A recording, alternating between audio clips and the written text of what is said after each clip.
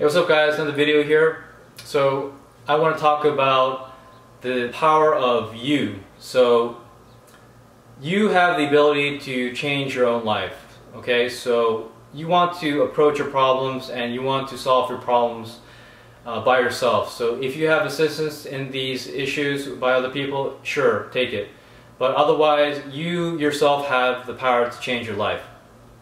So let me explain. So let's say you want a higher income job, then you can definitely take steps toward that, okay?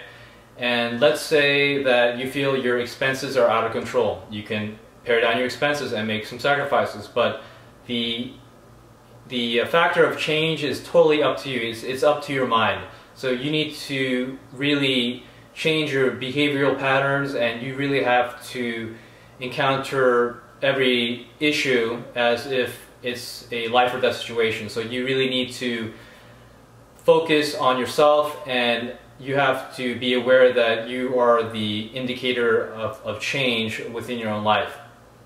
So let's say you're in a negative financial situation. So there's only really two issues, right? So you can either increase your income or you can decrease your expenses or you can do a combination of both, which is ideal.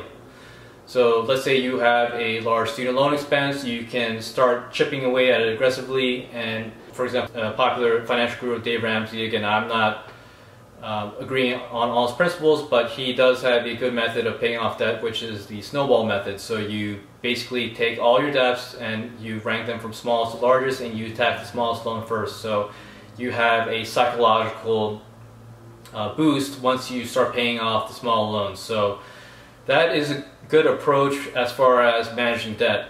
So let's say you want more income, so you can either prove to your employer that uh, you're a valuable asset and they can promote you, or you can approach other avenues to uh, to increase your income. So you can have a, another job, or you can have a method where you provide services to other businesses or sell products online. So things like that. There's so many avenues to increase your income. So you you really shouldn't uh, be wallowing in self pity as far as trying to change your own life. Okay, and let's say you're in a bad relationship, right? So let's say you're in a toxic relationship, you have the power to end it. So you can just end the relationship and um, either focus on yourself or approach another relationship. But I would probably suggest that you start with your own self-improvement. Of course, manage your finances at all times and then approach another relationship if you get into one from a more healthy mindset and you have the option of leaving whenever you want. That's not the case during marriage, but again, you want to take your basic considerations for marriage and if you're really serious about this person and you want to produce children down the road, then yes, marriage is pro probably the best option to raise your child in a healthy environment, but again, you don't really have an easy out during marriage because it is a financial contract with the state. But so as far as your job, your income, your relationships, your life circumstances, uh, you can definitely improve it if you're able-bodied and you have a healthy mind, of course, and you have some determination, you have the power to change your life. And again, don't blame some other person, don't blame this person, that person, uh, don't blame your circumstances, uh, don't blame anyone but yourself because you, as long as you are of healthy body and mind, uh, you have the ability to change your life. So you can aggressively pay off debt, you can get out of a bad relationship, you can get into a good relationship, you can be happy by yourself alone, but again, this, it's all in your mindset. So your mindset is actually, your mindset and attitude is actually everything.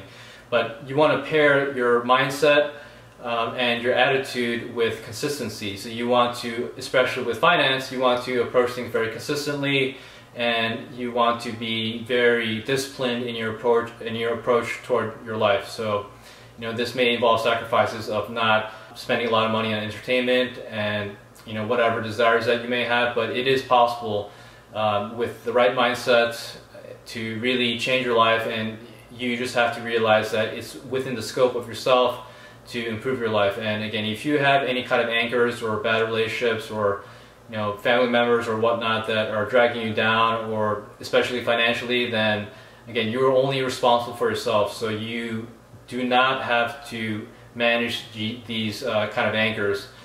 and you may you, you may feel that you have to let's say you know you have some kind of relationship that you feel obligated to provide help for but you have to understand that there's, that there's limitations to what you can provide because you have to look out for yourself because you have to have the expectation to look after yourself and not depend on any any other external sources because and ultimately other people may disappear in your life so and you can't rely on everyone or rely on certain people uh, continuously or for perpetuity so you really have to really watch out for yourself. Again this may be from an individualistic uh, American standpoint but you know that's how it is. So you know if you set yourself up for success then you're able to provide and you're able to help other people. So take care of yourself first like you know they state in the airplane manuals that you want to put your your, uh, your, your mask on first before assisting others. That's kind of the same approach toward everything else in life. So you yourself want to be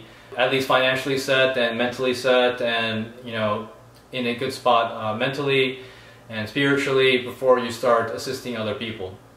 So again, just to recap, focus on yourself. You have the power to change things of yourself, assuming you're a healthy body and mind, and cut off any type of negative influence from your life. And then also if you're at a point where you are, you know, all around good, healthy, and you're financially set, and you have good relationships, you can go ahead and, um, and offer an extending help of hand to other people. But again, focus on yourself. You have the power to change your life.